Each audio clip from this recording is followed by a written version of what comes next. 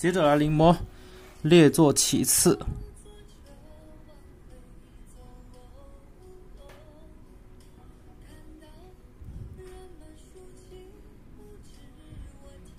收笔的这一处呢会圆一点，它不要写的很重，不要写的很尖。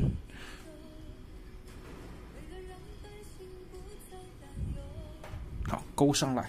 列字的话，就是这一块从下下来的时候比较直一点，好，比较直一点，而且呢，它有个高低之分，高低之分。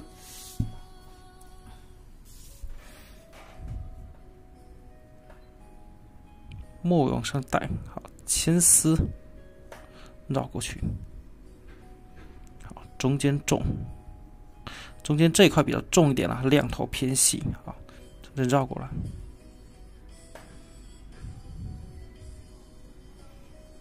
墨带上去。其实这一笔和这笔它是有连贯性的。好，墨往上带，住。这个“旗”字啊，有个笔法，只有在“旗”字才有的。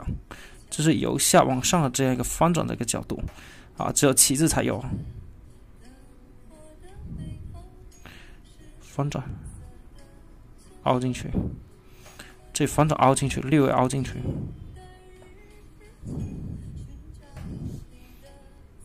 末尾往下带，略重往下带，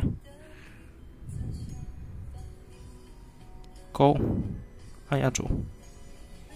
一上一下，一上一下，次字垫完之后有个牵丝卡下来，往上，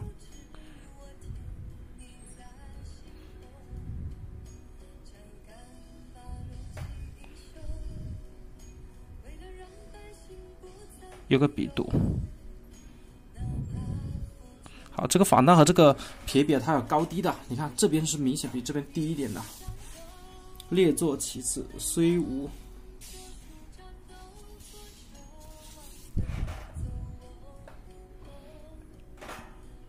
不要封住口，加重，那啥，勾上。其实这个转角不应该加重的，细一点，细一点吧。刚才说错了，好，绕下，绕下，中间留个空间还是比较大的。这几个笔画的话朝上吧，墨这里留带钩。无啊，虽字，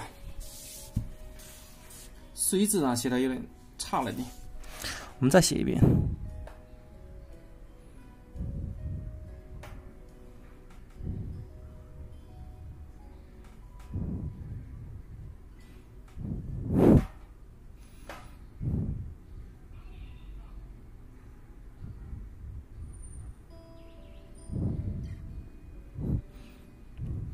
绕上，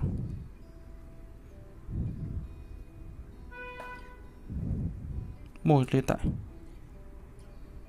哎，无字。啊，虽字，虽字，说错了，你这个会比上面好很多了，是吧？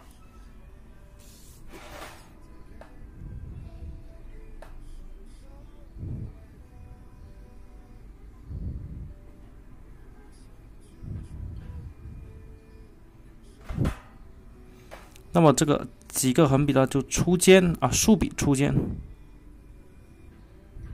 卡住，再卡住，再卡住啊，绕过来。你看这边重，这边重，这最后一笔这个行啊是带点弧形的，它不是很直的啊。牵丝连带，该细的地方就要细，该重的地方，你看这转折，转折就是重的啊。那么接下来丝呃丝竹之啊啊丝竹管弦之盛，那么写到这个之字，我们就下期。啊，作为下一期的视频录制，大家感兴趣的话可以看一下。如果想要往后往前面看的话，可以翻看我以前的视频啊，啊都有录制的，一字不漏。好，今天我们就讲到这里。